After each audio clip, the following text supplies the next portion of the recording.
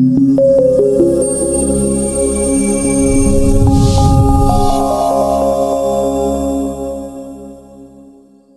poniedziałek strażacy walczyli z pożarem w Grabówku. Płonęła część gastronomiczna i warsztatowo-garażowa tamtejszego ośrodka.